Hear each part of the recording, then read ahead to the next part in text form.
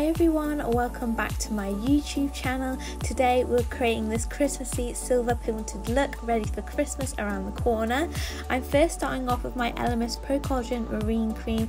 It's so so good for improving the skin's firmness and tone and collagen elastin as well as keeping our skin hydrated and smooth and plump underneath all our makeup.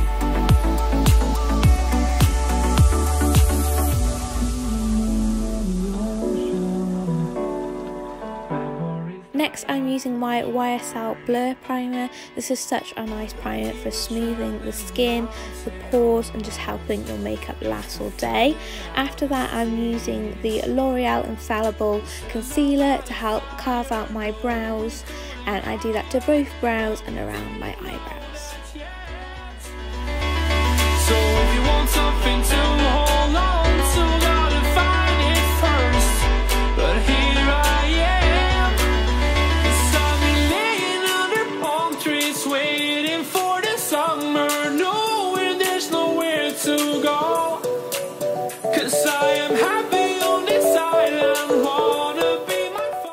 So after I've carved my, my brows, I'm just using a beauty sponge just to blend in that concealer around the eyebrows. My eyebrows are already microbladed.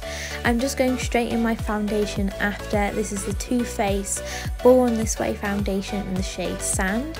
I then use my Sosu by Suzanne Jackson brush. Um, so I just use this to blend the foundation into the skin. While blending in, I did notice that my shade was a little bit too light just because I did fake tan the day before. So I'm just using the Makeup Revolution Conceal and Define Foundation in a darker shade to deepen up my original base. After that I'm using some translucent powder over the lids just ready for our eyeshadow. I'm using the Morphe 25 a palette and using a transition shade into the crease first.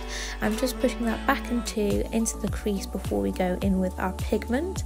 This is the Peaches and Cream Gatsby pigment and I'm using a Mario Badescu spray just onto a brush just to make the pigment more pop in. So I just apply that over the lid. After I've applied that onto the lid, I do go in with a deeper shade just to give depth to the crease of our lid and then after that I go in with my concealer just to conceal underneath my eyes, down the bridge of my nose and on top of my forehead.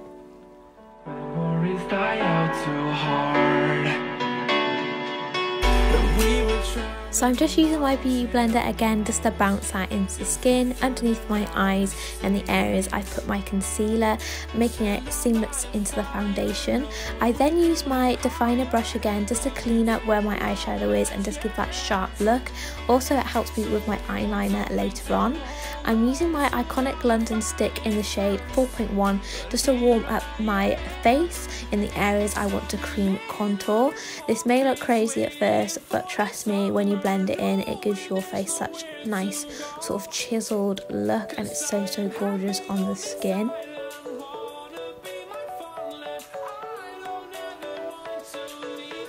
After I've done that, I just go back in with a beauty sponge just to make sure everything is just blended and looking seamless, no harsh lines or anything.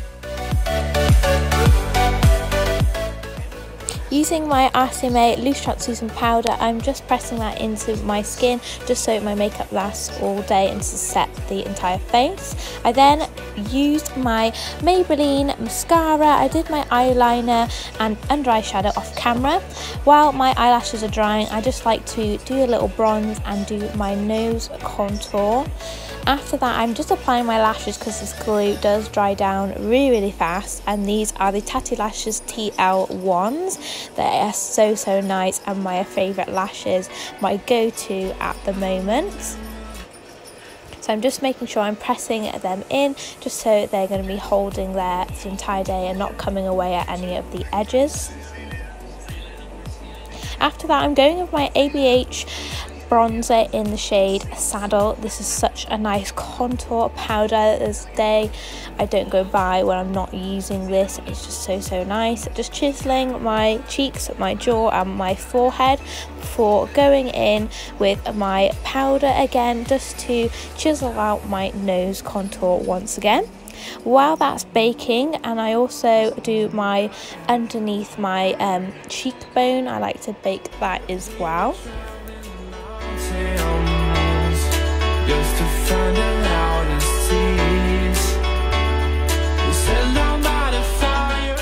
I'm going then in with my MAC Telling Glow blush. This is such a nice rosy, ready tinted blush, but it's got that nice glitter into it as well.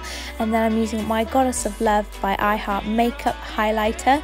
I'm just applying this to my cheekbones, my cupid's bow, and after I knock off my nose, um, bake I then like to apply it to my tip of my nose and down the bridge as well I also do like to layer my highlighters so I'm going with the Ofra Cosmetics in Blissful these are both rosy toned highlighters which I wanted to use this look. After that I'm going to knock off my cheek um, bake with the MAC Studio Fix powder. It's so so good to use sort of like a slightly pigmented powder if you're going to knock off any bake just because it doesn't give you that harsh line.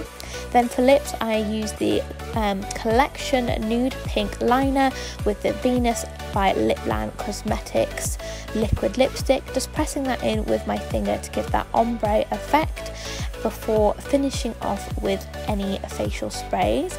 I do use the aloe cucumber and green tea spray before then going in with my Urban Decay All Nighter setting spray. So this is the finished look. It's sort of a Christmassy vibe, silver glitter pigmented look. I hope you enjoyed this video.